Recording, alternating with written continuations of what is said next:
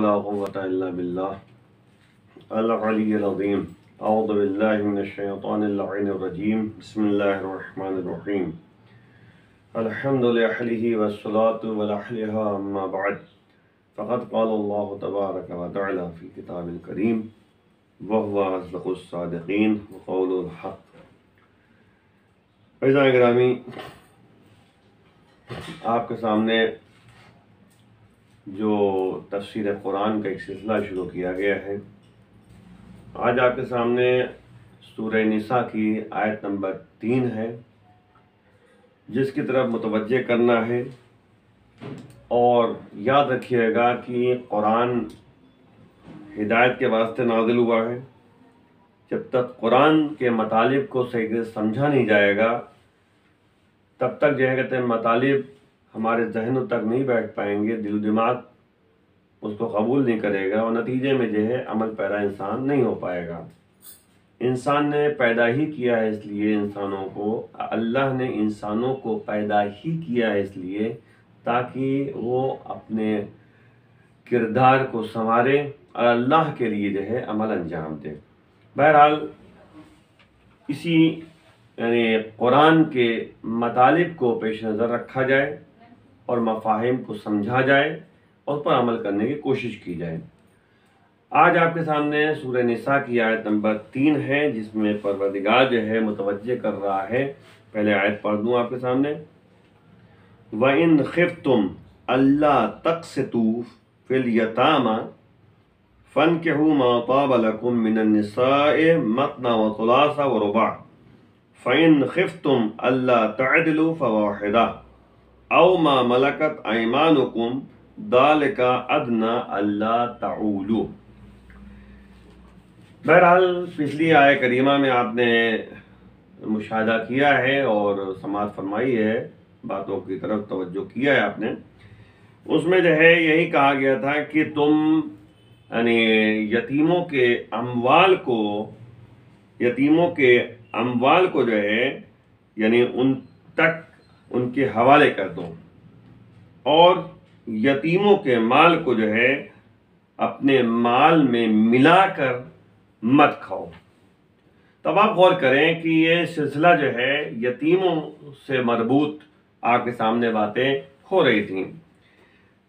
आज जो है, तर्जुमा आपके सामने पहले पेश कर दूँ कि परवदिगार जो है सूर्य निसा की आयत नंबर तीन में इशाद फरमा रहा है, और अगर यतीमों के बारे में इंसाफ ना कर सको, है, और ना कर सकने का ख़तरा हो, खौफ हो तो जो औरतें तुम्हें पसंद हैं, दो दो, तीन तीन, चार चार, उनसे निकाह कर लो। और अगर उनमें भी इंसाफ ना कर सको, अदल का अदल और इंसाफ के साथ बर्ताव ना कर सको, और ना कर सकने का ख़तरा भी हो तो इस सूरत में सिर्फ़ एक। या जो कनीज़ें तुम्हारे हाथ की मिल्कियत हैं, ये बात इंसान यानी ये बात जो है, इंसाफ से तजावुज ना करने से करीब है। तब आप गौर करें, ये तो मैंने आपके साथ तर्जुमा पेश कर दिया। लेकिन इसमें गौर करेंगे आप कि यहाँ पर जो है जो बात आपके सामने पेश की जा रही है कि सबसे पहली बात यह है कि अगर तुम डरते हो कि तुम यतीमों में अदल इंसाफ नहीं कर सकते, हैं, अदालत से बर्ताव नहीं कर सकते तो फिर जो है उनसे शादी ना करो, बल्कि जो है दूसरी औरतों को तो तुम, यानी जिसको पसंद करते हो, उससे शादी कर लो। दो दो कर सकते हो तीन तीन कर सकते हो चार चार कर सकते हो। लेकिन अगर तुम उसमें भी अदालत ना कर सको, अदालत ना कर सकने का खौफ तुम्हें लाक हो जाए, खतरा लाक हो जाए तो इस सूरत में तुम एक शादी करो। अब आप गौर करें, चंद बातें तरह मुतवजह करना, वरना तफसीली बात बहुत ज़्यादा हो जाएगी मुख्तसर से बयान में। देखिए असल मसला ये था कि ये आयत जो है, इसकी शान नजूल क्या है? शान नजूल का मतलब ये होता है कि ये आयत जो है किस बुनियाद पर नाजिल हुई है? असल में इस्लाम से पहले, यानी जब इस्लाम आया है, उससे पहले यह मामूल था कि यतीम बच्चियों को वो पालते थे, परवरिश करते थे, सरपरस्ती करते थे कुछ अफराद। और फिर जब उनकी सरपरस्ती करते थे तो फिर बाद में उनसे शादी कर लेते थे और उनका माल अपने अख्तियार में कर लेते थे। यानी उनका जो माल था, ये तीन बच्चियों का माल जो था, वो अपने अख्तियार कर लेते थे। और फिर जो है, क्योंकि वो खुद जिम्मेदार थे, लिहाजा जो मेहर रखते थे, वो कम रखते थे। क्योंकि आज में खुद सरप्रस्त है। जब सरप्रस्त हैं तो जब निकाह शादी करते थे और निकाह शादी करते थे इस्लाम से कब तो उस सूरत में जो है वो अपने इख्तियार से अपनी मनमानी करके वो मेहर तयन, मेहर का तयन करते थे। ज़्यादा मेहर नहीं होता था छोट कम मेहर में काम चला लेते थे, है ना? और माल उनके अख्तियार में आ जाता था। और जब नाराज़ होते थे, गदबनाक होते थे तो उनको छोड़ देते थे। ये एक सिलसिला जो है वहाँ पर कायम था। ठीक है ना? दर हकीकत हाजिर नहीं थे कि मामूली जोजा की तरह जो है उनसे पेश आए। यानी जब नाराज़ होते थे तो आम कहते हैं कि जोजा की तरह, आम बीवियों की तरह जो है उनसे बर्ताव नहीं करते थे। जिसके नतीजे में उनका हक जाया होता था। उस वक्त यह आयत नाजिल हुई कि यतीम बच्चियों के साथ, इस शर्त के साथ जो है तुम शादी करो कि अदालत का तुम मुकम्मल लिहाज करो। मतलब जो है तुम्हारे पास एक मामूली अलग बीवी है, जैसे तुम उस, उसके साथ बर्ताव करते हो, वैसे इस यतीम बच्ची के साथ जो तुम शादी की कर रहे हो, इसके साथ वैसे ही बर्ताव करो अदल इंसाफ के साथ जो है काम करो। वरना उनसे शादी न करो और शादी न करो उनसे और नतीजे में दूसरी औरतों का औरतों का इंतखब कर लो। ये जो है बहरहाल, इसमें जो है जो शर्त लगाई गई है यतीमों के अमवाल हुकूक जौजियत यानी यतीम बच्चियों साथ तुमने शादी की है तो उनकी जौजियत का जो हक है, उसको तुम पूरा मुकम्मल तौर पर अदा करो। हिफाजत की शर्त इसमें लगी है, वरना चशमोशी करें, वरना जो है शादी ना करें। तो याद रखिएगा, इसमें जो है, बहरहाल मुतवजह किया गया है कि हक जौजियत अदा करना मेयार है। और उसके बाद उनके साथ इंसाफ के साथ, अदल के साथ जो है बर्ताव करना है। तब जो है यतीम बच्चियों के साथ इंसान शादी करे। ये पहले असमें चक्कर वही था ना कि कुछ लोग ऐसे होते थे, यतीम बच्ची को अडॉप्ट कर लिया मतलब कि यतीम बच्चियों को जो है, यानी परवरिश करने लगे और उसका जब बड़ी हो गई यतीम बच्चियाँ तो नतीजे उनसे शादी कर ली। और खुद सरप्रस्त होते थे ना। जब खुद सरप्रस्त हैं तो नतीजे में जो है वो इख्तियार रखते थे, अपना मेहर भी कम रखते थे, और नतीजे में उनका जो, यानी प्रॉपर उनकी जो प्रॉपर्टी थी, मीरास में जो चीज़ें मिलती थी, वो खुद जो है अपने इख्तियार में कर लेते थे। तो एक तरीके से जुल्म होता था उनके ऊपर, अदालत नहीं हो पाती थी। तो इसलिए जो है कुरान ये यानी मुतवजह कर रहा है। कुरान अस में अदल इंसाफ की तरफ़ जो है तो ज़्यादा तवज्जो कर रहा है। अक्ल का मेयार बता रहा है कि अक्ल को किस तरह इस्तेमाल करना चाहिए। नतीजे में क्या है?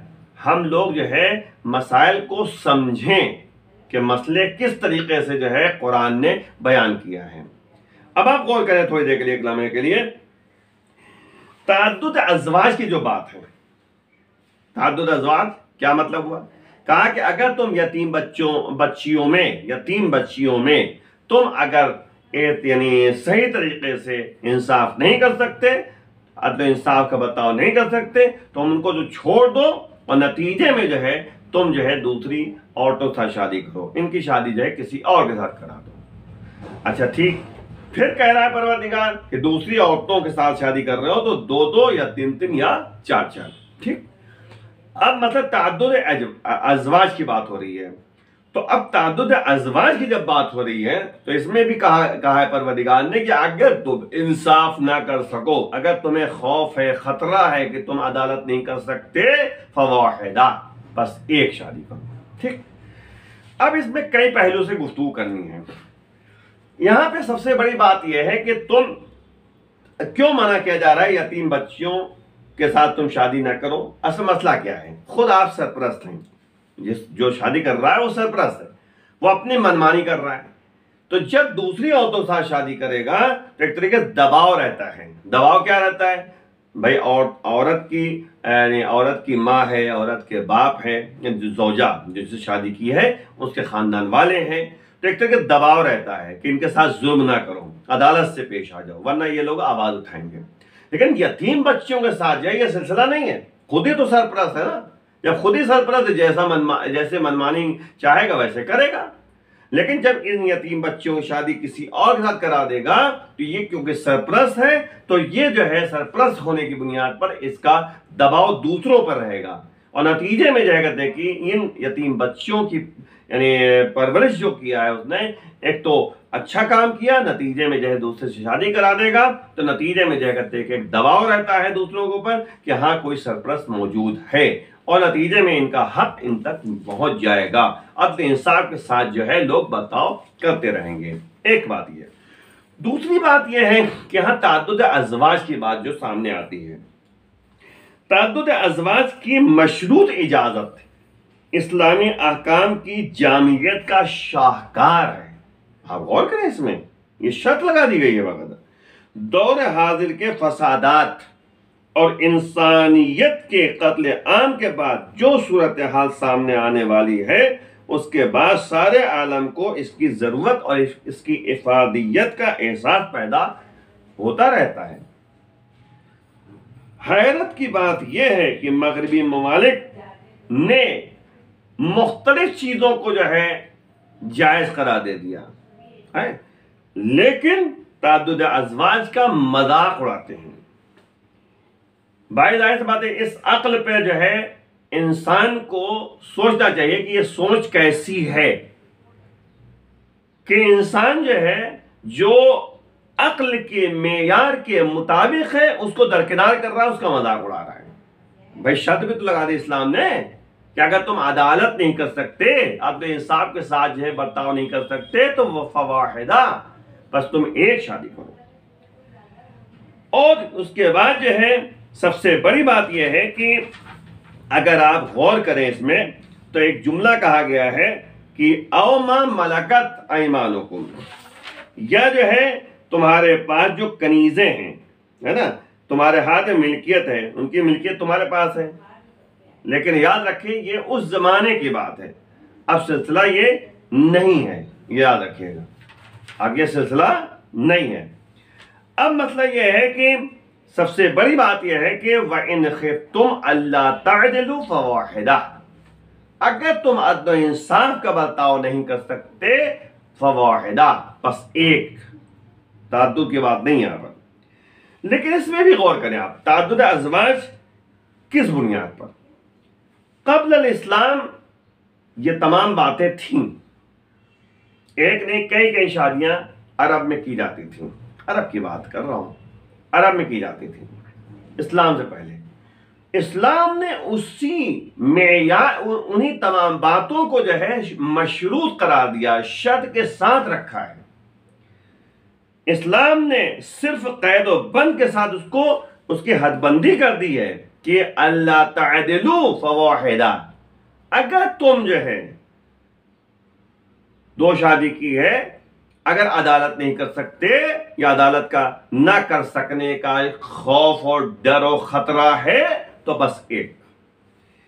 आप गौर करें, इसमें जो है, इस्लाम ने, अल्लाह ने हमें जो बताया है, आखिर इसमें अक्ल के ज़रिए सोचें अगर हम। जो अल्लाह ने कहा है कि दो दो, तीन तीन, चार चार तो इसको मेयार को समझें। वरना एक, अदालत नहीं कर सकते। तो इसमें सोचें। असमें पहली बात यह है कि मर्द और औरत में एक जिनसी फ़र्क होता है। औरतें जो है, पचपन साल, साठ साल तक जो है, उनके लिए एक वक्त मुन है और नतीजे में जो है, यानी उसके बाद जो है, वो मसला नहीं होता। लेकिन मर्दों के लिए जो है वो सिन्नो साल की कोई कैद नहीं है, एक बात। दूसरी बात यह है कि कुछ महीने ऐसे हो, महीनों में कुछ अयाम ऐसे होते हैं, कुछ दिन ऐसे होते हैं, जिसमें जो है, यानी साथ रहना जो है, ये बहरहाल जो है हराम करा दिया गया है। ठीक है ना? मतलब कि, यानी साथ में रहना। लेकिन ऐसी बात जो है देखिए, मर्दों के साथ नहीं है। तीसरी बात यह है कि आमतौर पे देखिए कि औरतें जो है तलाकशुदा हो जाती हैं, बेवा हो जाती हैं। तो इस बुनियाद पर जो है उनकी सरप्रस्ती करने वाला कोई नज़र नहीं आता। तो अगर ये तादुद अजवाज की बात सामने आए तो कम अज कम कोई सरप्रस्त उनका सामने आ जाएगा। उनको बाकायदा दूसरी औरतों की तरह जो है, उनको हक भी जो है मिल जाएगा, हुकूक मिल जाएगा। ये दर दर जो है भटकती, फिरेंगे नहीं कि कहीं से जो है उनकी सरप्रस्ती हो जाए, कहीं से खाने का बंदोबस्त हो जाए, कहीं जो है रहने का बंदोबस्त हो जाए, हैं, कहीं से कपड़े का बंदोबस्त हो जाए। तो कम अज कम जो है, अगर यानी ये सिलसिला जो है कायम हो मतलब कर लिया है भाई ज़ाहिर बात हर चीज़ जो है इख्तियार पर रखा गया ज़बरदस्ती तो कहीं नहीं है इस्लाम में। इस्लाम में ज़ोर ज़बरदस्ती तो है ही नहीं। इख्तियार जो है रखे गए हैं। तो जब इख्तियार रखे गए हैं तो कम अज कम फसादात से इंसान बचा रहेगा। एक इज़्ज़त, बाइज्जत ज़िंदगी बसर करेगा। और एक इज़्ज़त मिल जाएगी घर में कि हाँ जो है कहते किसी की सरपरस्ती मिल गई है, किसी घर में रहकर जो है आराम से जो है, सुकून से जो है इंसान ज़िंदगी बसर कर रहा है। तलाकशुदा औरतें हैं, है ना? या बेवा है तो ये लोग परेशान रहती हैं। लेकिन अगर माइंड को मेकअप करेगा, इंसान इख्तियार को पेश नज़र रखेगा तो इंसान जो है कर सकता है इस मैार को। अच्छा ठीक। दूसरी बात क्या है? दूसरी बात यह है कि भाई, एक इंसान है जो कुदरत जिसमी रखता है, माली कुदरत रखता है, इतना पैसा उसके पास अच्छा खासा है, अखलाकी कुदरत भी उसके पास है। अखलाकी मतलब बाखलाक है। ये नहीं कि जो है वो दिमाग में जो है कुछ और उसके फतूर सुन यानी, चलने लगे, वो सोचने लगे कि भाई नहीं, ऐसा बात नहीं। अखलाक अखलाक माने नेक सीरत अच्छा बर्ताव, है ना? ये ना हो कि पता लगा कि जो है दूसरी शादी की उसने तो नतीजे में जो है ये बीवी जो है बेकार है और नतीजे में जो है वो, यानी, कोई मेयार नहीं, उसका नहीं। इसीलिए अदालत कहा गया है। अदालत का मतलब क्या है? अदालत का मतलब यह है कि अगर उसको जो है आपने घर दिया है एक घर उसके लिए मुहैन किया है तो एक घर उसके लिए भी मुहैन करें। अगर एक कमरा जो है ऐसा है कि जिसमें तमाम साजो सामान मौजूद है, हर तरह की जो है आसाइश और आम के सामान मौजूद हैं तो दूसरे कमरे में भी इसी तरह होना चाहिए। ठीक? और दूसरी बात यह है कि अगर जो है उसको पैसा दे, रहा है तो जितना मंथली उसको पैसा दे रहा है उतना पैसा उसको भी दे। अगर जो कपड़ा उसके लिए बना रहा है तो वही कपड़ा उसके लिए बनाए। जो खाना उसको दे रहा है वही खाना उसके साथ। यानी कदम अदालत का मतलब होता है अदल इंसाफ का मतलब यह होता है कि बराबर बिल्कुल जो है उसको इज़्ज़त देनी चाहिए। तब तो इस्लाम ने कहा वरना जाएगा ज़ाहिर सी बात है यही तो कुरान कह रहा है कि फ़ैन खिफ्तुम अगर तुम जो है डरते हो, अगर तुम डरते हो, यानी तुम्हारे अंदर अगर डर मौजूद है खिफ्तुम कहा है अल्लाह ने? यानी बताना चाह रहा है परवरदिगार क्योंकि इसके आगे इंशाल्लाह, यानी आयत आएगी। आगे आएगी इसी सूर्य में कि अल्लाह कह रहा है कि तुम इस्तात नहीं रखते। तुम्हारे पास कुदरत इतनी नहीं है कि तुम अदालत कर सको। पैदा करना पड़ेगा। इंसान के अंदर फितरतन तो है नहीं ना। तो आप ज़ाहिर सी बात है, जिसके पास जो है, यानी, जिसमानी क़वत है, जिसके पास जो है, कहते हैं, अखलाकी क़वत है बाखलाक है, जिसके पास माली क़वत है, पैसा है, वही उसी के लिए ये हुक्म है। वरना जो है, एक हुक्म इलाही यही है। और दूसरी बात है कि यह भी जो जगह मसला है कि इस्लाम ने हवसरानी की बुनियाद पर मना किया है। ख्वाहिशात नफसानिया का गलत इस्तेमाल करना यह इस्लाम मना करता है। और यह भी जो है कभी कभी होता है कि एक बीवी जो है, यानी हकीम है, उसके जो है औलाद नहीं हो सकती। तो ये भी एक रास्ता खुला हुआ है कि हाँ तुम जो है दूसरी शादी कर सकते हो, लेकिन दोनों को जो है बाकायदा मेयार उतने ही दो, मोहब्बत उतनी ही दो अदालत का मतलब यह होता है। यह नहीं कि मतलब कि जो है, वो औलाद पैदा कर रही है तो इसका मतलब वो अज़ीज़ बहुत ज़्यादा कहते कि, यानी, उसको इज़्ज़त दी जा रही हो ये नहीं तो ऐसा नहीं। बल्कि जौजात में जो जौजा है, तादुद अजवाज की जब बात हो रही है तो इसका मतलब यह है कि जो भी जौजा है, उसको जो है वो हक मिलना चाहिए। लेकिन याद रखिए, कुरान ये भी कह रहा है कि तुम्हारे अंदर इतनी कुदरत है ही नहीं कि तुम अदालत से काम ले सको।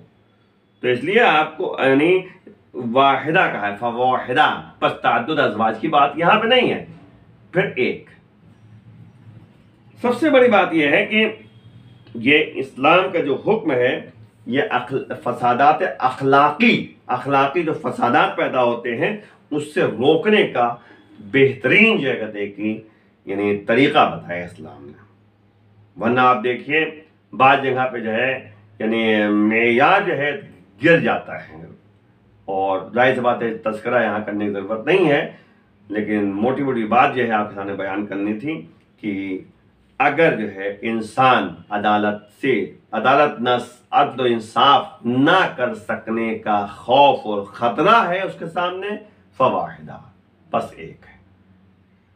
ये भी याद रखिएगा, यहाँ पे बात आगे तो एक जुमला कहता चलूँ, बात को ख़त्म कर दूँ, कि इस्लाम ने जो है माँ बाप पर बहुत सारे, यानी हुकूक हुकूक रखे माँ बाप के ऊपर ज़िम्मेदारी रखी है। पहली ज़िम्मेदारी जो है, यह है कि बच्चे को तालीम और तरबियत का अच्छा बंदोबस्त करें। दूसरा यह है कि कुरान की तालीम दें। ठीक है ना? एक बात अच्छा सा नाम रखें, नबी ने कहा है। और मेन बात ये इसके बाद जो मैं कहना चाह रहा हूँ वो ये कहा गया कि जब बालिग हो जाए बच्चा या बच्ची तो उसकी शादी का बंदोबस्त किया जाए। ये माँ बाप की जिम्मेदारियों में से है। तो अब जो है ज़ाहिर भाई इसके, इसके इस, आगे इंशाल्लाह जो है आयतें आएँगी तो उसमें आपके सामने बातें बयान की जाएँगी। फ़िलहाल यहाँ पर जो है जो इस आय करीमा के नतीजे में एक जुमला सिर्फ़ कहने का है वो ये कि यतीम परवरी ज़रूरी है यतीमों का ख्याल ज़रूरी है और उसके साथ साथ जो है, अगर इंसान शादी कर रहा है तो अदालत न कर सकने का खौफ अगर मौजूद है तो फवाहिदा, बस एक शादी करें, एक बीवी रखें। आइए मिलके बारगाह महबूद में दुआ करते हैं, परवरदिगार, बेहद के जहरा वाबीहा व बालिहा बनिहा, हमारे गुनाहों को माफ़ फरमा। जो अफराद परेशान, हाल की परेशानी दूर फरमा। महबूद बीमारियों से सबको नजात दे दे। इमाम के आवान अंसार में शुमार फरमा। इमाम के जहूर में ताजिर फरमा